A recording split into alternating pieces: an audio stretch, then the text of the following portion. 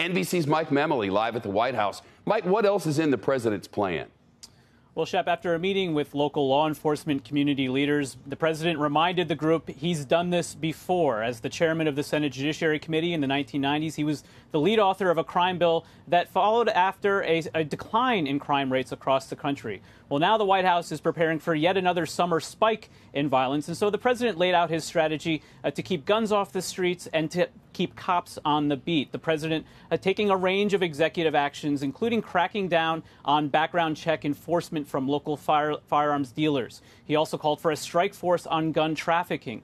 Now, this is a president who, during the course of the 2020 campaign, went against the grain of his party in opposing the defund the police movement. And part of his plan would allow states and local governments to use COVID relief money, that $1.9 trillion package from March, to hire and train additional law enforcement. The politics of this issue have only hardened since Biden was a senator, and the president today trying to take the politics out of it. Take a listen. This shouldn't be a red or blue issue. It's an American issue. We're not changing the Constitution. We're enforcing it, being reasonable. We're taking on the bad actors doing bad and dangerous things in our communities and to our country.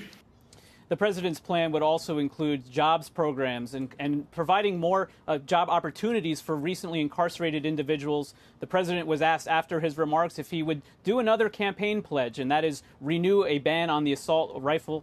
He said, I still hold out hope. Shep. Mike, thank you.